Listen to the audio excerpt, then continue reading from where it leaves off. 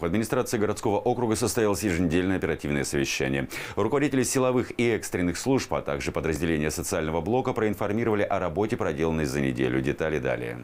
За прошедшую неделю в управление МВД Люберецкое поступило 2000 обращений граждан. Возбуждено 26 уголовных дел. 20 из них раскрыто по горячим следам. Произошло 125 ДТП. Пострадавших нет. На особом контроле у сотрудников полиции места массового отдыха, парки и карьеры. Отдельное направление в работе – дистанционное мошенничество. Мы и по телевидению, и в газетах, и в администрациях с управляющими компаниями расклеиваем э, листовки для того, чтобы не совершались дистанционные мошенничества, но народ или не слышит, или не понимает, идут в банк, опять берут кредиты, отправляют каким-то неизвестным людям.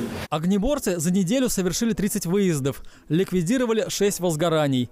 В городском округе Люберцы горели сараи, баня, а также квартиры. Загорание лоджии на 22 этаже на площади 6 квадратных метров в квартире номер 82. Также закоптились кухни и потолок. В квартире на площади 5 квадратных метров обгорел утеплитель между 15, 15 и 16 этажам на площади 2, 2 квадратных метров. А также закоптился фасад здания с 21 по 25 этаж.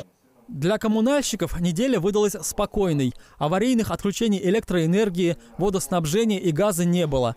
В ежедневном режиме ведется обработка обращений граждан, перерасчеты по начислениям за жилищно-коммунальные услуги.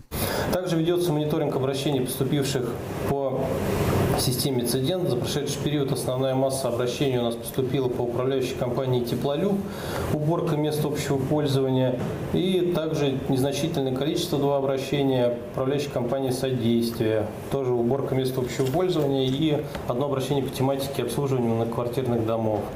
Всего было заслушано 10 докладов. Руководители, заместители и эксперты проинформировали о проделанной работе в сфере благоустройства, здравоохранения, спорта, содержания дорог и парков. Алексей Абрамов, Петр Пономаренко, Денис Заугольников, телеканал ЛРТ.